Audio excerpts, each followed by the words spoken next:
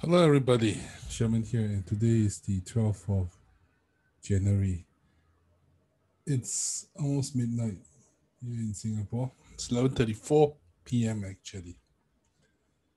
So I was kind of in the mood to do a video. Um, I was watching the S&P, just looking at this.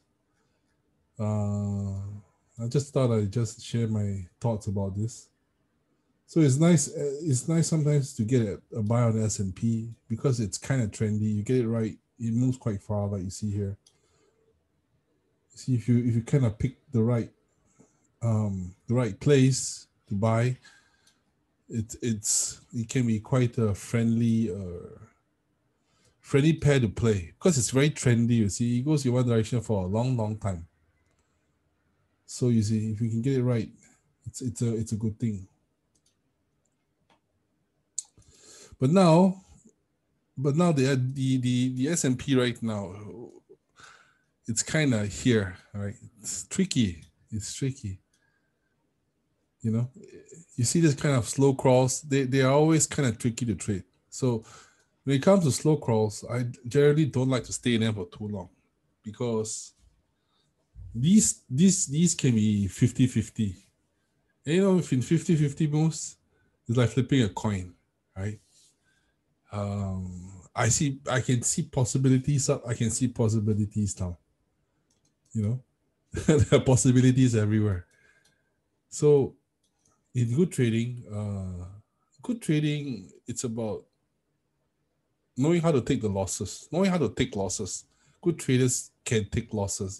If some of people have checked my uh my fx book account when i was doing this for those investors they wanted to see me trade. Yeah I have losses too. It's very normal. But then you can still walk away with a lot of money, right? So so losses is part part of trading. If someone tells says that they've never taken losses because they've never taken a trade in their entire life, or they trade without stop loss, that's it. Right? So they, they'll, they'll never lose because they have no stop loss. Either the account goes bust or the account makes money. But most probably it will go bust anyway. No stop loss. So looking at this, how how how how would I trade this? Uh, but taking a bias is always tricky for something like that, you know. It's, it's tricky. This is possible. I can see this trend line over here. So that's the first thing that I can see. But I also know that moves like that, uh, they, these are all stack stack moves. These slow crawls, they're all basically quite stacked you see. If you if you if you map everything if you map all the swings like that it's basically stacked from the top to the to right here. So what does that mean uh, stack?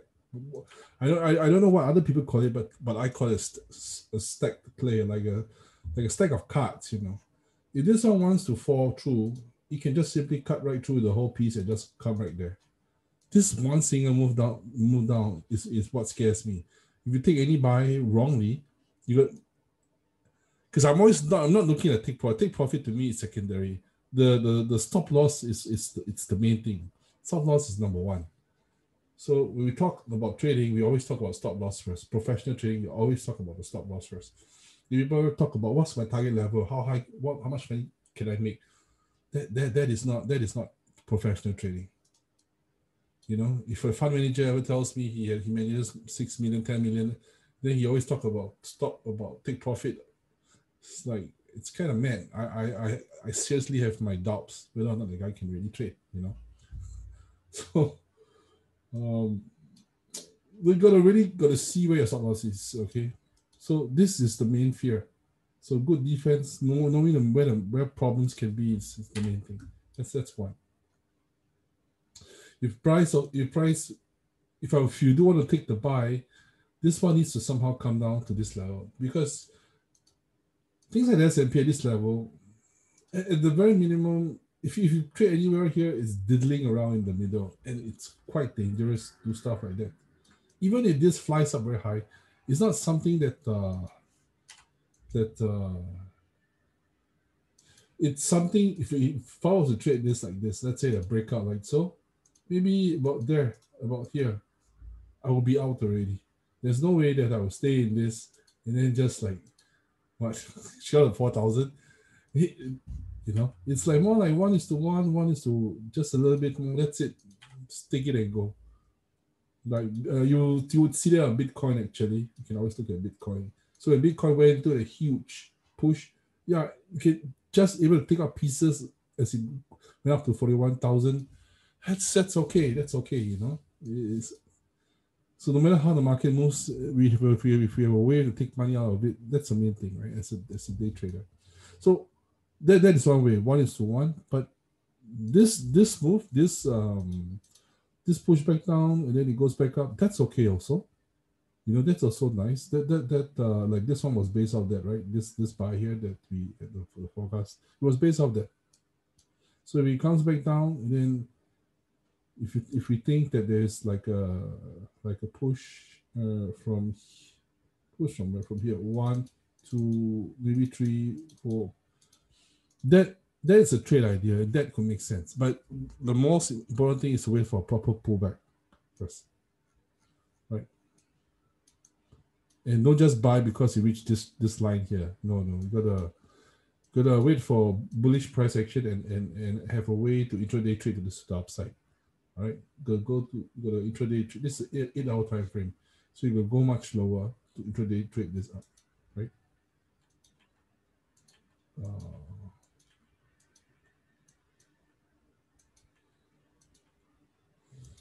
So minimum that's that's one pullback that's possible. Then of course you could always get something even bigger like that. So you see there's a lot of possible kind of it could be this one, it could be this one. Also possible, unfortunately. So pullback could be on this size, could be on this size, and then the worst pullback would be the worst pullback. I did this one. Uh, these are just possibilities. Yeah, this is the worst, the worst pullback, the worst pullback possible. This one, of course. Since I'm aware of that, if it does come down, I'll be really interested to write this to, to, to trade this down. But we don't have that yet, right? We don't have that yet. So we don't have that yet, right? So it's not it's not it's not, it's not happened yet. So if it happens, we'll see what we'll see what I can do then. Okay. So you see, I always draw these things like candle, meaning it breaks the trend line. Right? So you're not going to sell here thinking it's going to do that because it's just one of many possibilities. But being aware of possibilities and then waiting for time factor to play out, and then we'll decide accordingly how to enter the trade. Yeah, but so these are these are the different biases that we we have so any buzz upside requires a proper pullback, and we know that this type of big pullbacks could happen, right? And then the worst crazy case is this one could happen, right? And then when that happens, that happens, then of course it would look like uh, it will be something like this on the weekly, like here, like this. Then of course people buy low, sell high. That's that's the craziest one. So I have this right there, S&P bear. See, not hindsight. It's this is I I put the worst case worst case scenario. So if, when this one fell, did anybody see that? Oh no, it's uptrend, right? Dangerous stuff. Gotta remember, someone needs to lose money. Someone needs to, to kill everybody before someone needs to die here so that someone can buy low and sell high. Institutions, right? Those um, yeah. So that's S and P. Mm. Whoa. So this was just Gann. I was just playing playing around with it. It's it's cute stuff. Cute stuff. So anyway, I've not figured out much about it yet. I don't find it too useful for now. So I'm just trying to see if there's any anything you can do with it, but uh, no, not I have no ideas on it for now. You know? Sometimes there's a way to back test stuff. You know, you spend a lot of hours, days, months just testing. So okay, you see the DAX here. You see DAX. Next strength. This could come, continue down, break this low. Yeah, maybe, maybe. But I don't think so. I always think that price needs to move in a way to, you know, mess people up. The best way for this to mess people up uh, is for you to come back to the trade too. That would be the best way to mess people up. Anyway, here and then come back down. Oh, this would be a good good move to mess some people up. So I actually hope that uh, it's come down enough and people want to be the trend. But you know, the trend was nice when it was like here, like here was nice. But once you get close to this bottom, uh, it's not so good, you know. It's not so good. So uh, I think this one, I would really much like for this to actually move back up.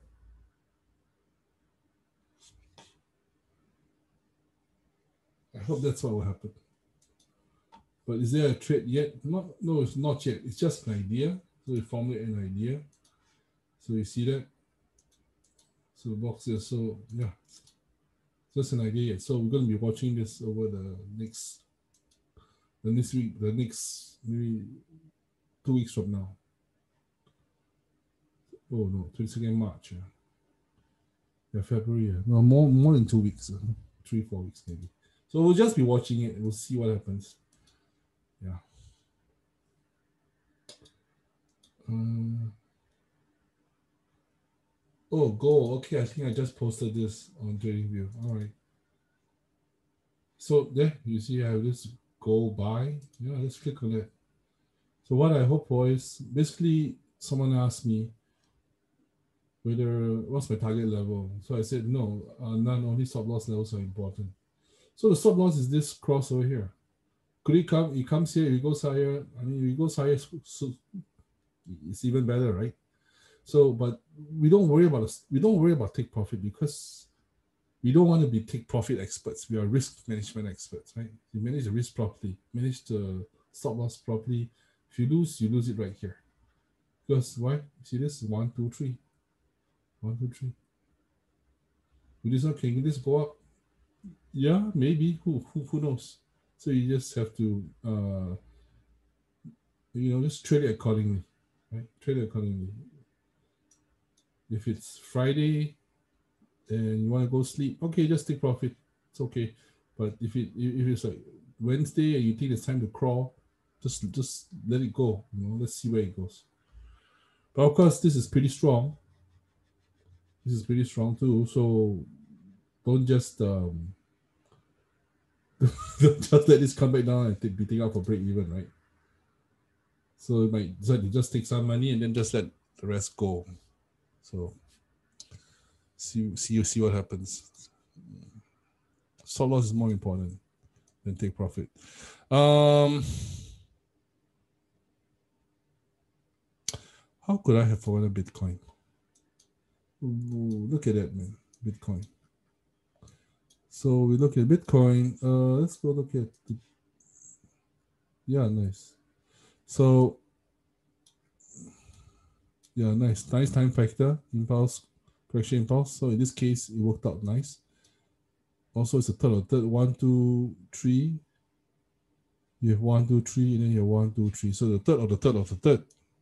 Perfect you know? And over here you see here live forecast again. So push up. So here we are already looking for the buy right? Already looking for the buy. And uh, putting some support resistance in into the play was also a good idea. If anybody did not get that in get in the buy of course this is a bad place to buy right? This is where people are already taking profit. This was actually a very good place to uh, when it came back down again, right? For people who played who play support resistance, that was the place, right? See, it cracked right through.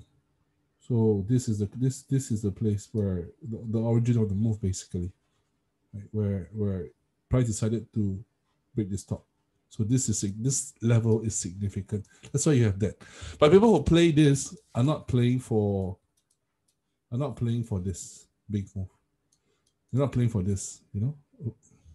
People who, who play support and resistance uh people who only play for just a couple of pips, maybe big lots. Uh, but you know, anywhere like six pip, ten pips, or whatever it is here, just a just some kind of re, just some kind of reaction here to there. Maybe that's it. Here to this top level, maybe they're out already. They will not be waiting for this to go all the way up there because that's not what support resistance people usually play. Right. And also because this is somewhere in the middle. It's not it wasn't like oil. Oil was right at the bottom. Right. This is like right at the bottom. So oil, if you breaks here, oil was right at the bottom. That's why it was gonna go up. This is somewhere in the middle. So playing saying that this will stop here and then go up there is not not correct. Right. So resistance, people who play the bounce are just playing for a reaction. So those are not swing trades, basically. Swing trades, on the other hand, are playing for this big move. Right? The big move that's like, holy cow, you know. So that's a that's a difference. Reaction and swing trading are kind of different, right? In swing trading, you always have some kind of some some piece in the middle over here. That these these these pieces in the middle like this. And also such a strong move up. The people who are now uh, playing this are all playing using the moving averages, right? But of course, you see, they're, they're all playing the, the moving average. But the, over here is where people who are only familiar with, with moving averages, of course, they get killed right here. They're eaten alive, basically. So it's a time for everything. So it's, it's important to know a bit of everything, you know, just like Bruce Lee, you know. You know, his style of fighting, you just get take the best of everything, and then what's what's useless, just discard it. So and also knowing when to use what, you know. Some sometimes moving averages is good, sometimes it's pretty useless. Right? Sometimes support resistance is good, but support resistance has its flaws. You don't really, in a place like this, you don't buy here and hope that it gets there. This is just one of those examples where um, where it, it looked like it worked, but there'll be many cases where it don't work as well. So we have to be aware of that. Right? The people who trade support resistance, particularly just that alone, they're just looking for a small reaction trade and then they're usually out, out the market by then. Otherwise, you place support and resistance at this very top. You know, if you're thinking because oh yeah, it moved very far. Yep, right here. This is my resistance, and then you oh, you know, bad things happen. So, uh, this case, if it's it, it's uh, it's where you know the idea was not too good. If it took just a couple of pips out, I think they would have survived. This one is another support resistance. You see. So yeah, you get the reaction. You see those reactions. This reaction is what they all they play for. They don't play, they don't play for those big moves, right? Uh, oh, it's at the top. When the top, it came to the low. So now it's up here. It should come back to the low again. Yeah, not really, right? Not really. Usually, usually swing in swing trades. As you can see here, there was a forecast here by Sherman Chu. So it looking weak. So there was a move down, and this is this is more like swing trades. You see they're more like swing trades. So you're taking a one, two, and then this was the three. And of course, there's some sideways over here. But this and these are supposed to be what you're looking for. Sorry. And then there's something in the middle here. So this and this has some, this is the first, this is a third, and there's something here in the middle. Right. So swing traders and support resistance traders are a little bit different in, in the way they actually handle the, the trade management. You know, uh, if you know both, it's it's good. It's good if you know both, right? Um, but I would say time factor trading it's kind of like more superior basically. Because uh, you're not trading just trading support resistance or swing you're trading with the element the, the one more that one more important dimension the dimension of time. Very important. Yeah. So now we are we are up here it dived well to be expected. Want go up fast will come down fast too. Right down to the moving average there too. See? Does that mean it's downside? Uh there's a chance uh, this could this could continue and then just drop like this possible. And then maybe it moves one up and then it start to go up. And then this one might go up or this might be a correction and it might come down. It, it, it might drop, it might drop. But uh I would say right now this sharp move down could be anything. It can be anything. One, one wave down doesn't really mean much, but uh, There's just so much you could do. So you just have to wait right now. This one could do stuff like uh, could just do maybe just do a double top like this. Anything is possible. So based off this time frame, there's not really nothing much to say, except uh, for people who who who are uh, people who have you know played I think anywhere here if they if they if they uh just taking bits and pieces off the, the as this move goes up, they take bits and pieces out of the market. That's perfectly fine too. No need to always hold here and reach the top. Things like things like this one also. This was okay. One sharp move, you don't know what's going on, but when it broke and then it went sideways, yes, that means you have a structure for for one more up as well. Right? But this move meant nothing. So if you take that for a cue, then that's one example. This one sharp move break up and then go sideways. If this one breaks up and goes sideways, yeah, maybe you could try for, for something upside as well. But you have to wait for all that to happen. So just have to wait, you know. Time factor, very important. Let's wait. Let's wait and see what happens. So nice Bitcoin. Nice. Generally, uh, I think something I want to say about winning and losing traders. I think most people, uh, when they lose in, in, in, in Forex, right, uh, usually there is a pattern. And the pattern usually goes like that. We'll, we will um, we'll win some, we win, we win a little bit, win a little. L I T T L E. You know, you win a little, you win a little, you win a little and then after that, when something big happens, then there's a big loss. Because why? No stop loss. Uh, lot size too huge. Big. So this is the pattern of those trades, those those accounts that lose. So what's what's the other? So what's the opposite of this? If this is a how what a losing account looks like, that means a, a winning account generally is the direct opposite of this. They will lose a little, lose a little bit, lose a little bit, lose, lose, lose, but then they have one big win. This one.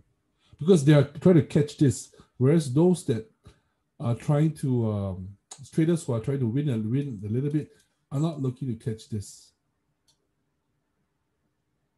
You see? So, um, so uh, from, from my experience working with uh, investors, I think some of the investors actually need to cultivate their minds to understand what good trading is actually, you know. Uh, sometimes there are losses on the account, but it's okay to lose if it's within the per the parameters. Is it one percent loss, two percent loss? Let's say it's let's say it's like the hierarchy account, right? Your hierarchy account. If you lost the first time, maybe you lost 1k. All right, became 99k. You lost another time, you lost. You had another bad, stupid losing streak. You're like, what the hell is going on? Then you lost a fourth time. Suddenly, the fifth time became 106,000. Just one. So you lost, lost, lost, lost, lost. The account is down 4%. Suddenly it became 106,000 one move you make. So 10%. Because as it went, so maybe some people scale in, you know, scale in. That's possible too. So, like for example, you see here, one example of scaling, you see it broke, you scaled in. Stop is here. Go out, you break. You, scale it again, you to stop here. Possible to You go out, you broke, you scale in, you buy again, then you start to shift your stop. This one, you shift up, here you shift up. And these two are not supporting this one, it goes up again. So at some point here, you're going to get stopped out. But you already scale in the position, you see. So so when when when a person is is uh, focused on stuff like that, that's that's how that's like the anatomy of a of a of a trader. You can see them scaling in actually, basically, because this is what this is what they like to trade, basically. We move, they're looking out for this, this, this big moves, right? Right. So then there's another kind of trading. Uh, the people who scalp. You see, uh, I've seen some accounts where people scalp. It's like the lot size is like really huge, forty standard lots, man. Right, but they are like only looking for three pips, maybe six pips, maximum like this. That's it. When they lose, they lose. Yeah, they lose. Uh, say about three pips as well.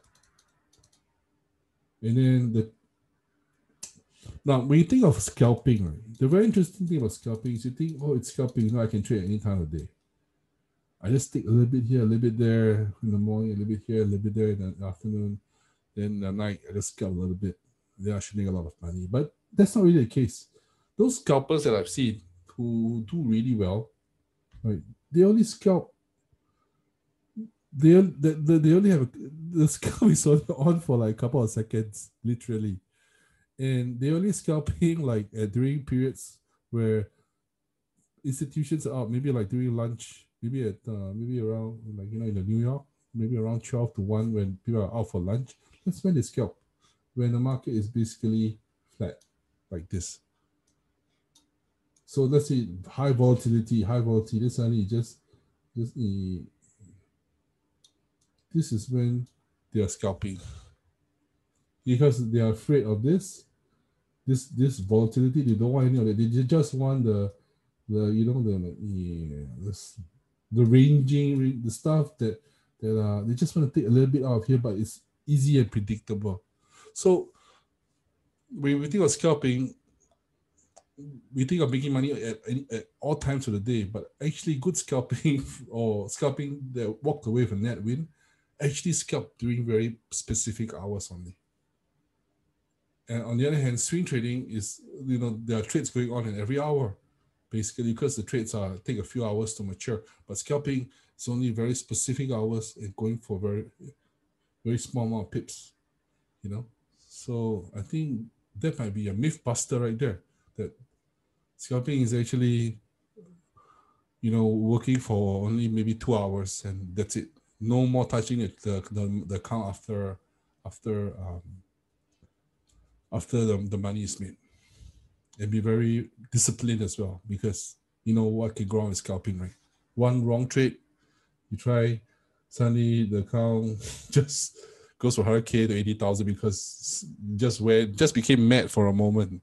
So be very careful. What goes up fast can also crash very quickly, right? So scalping requires a lot of discipline and uh, being able to turn, walk away from the computer once the two hours is up. You know, no more touching the PC. So, well, that's my take. Uh, just a just a quick share from what I've seen.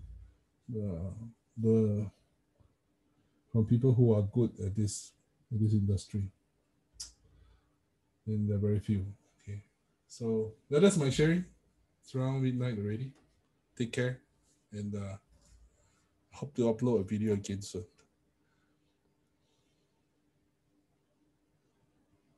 Bye bye.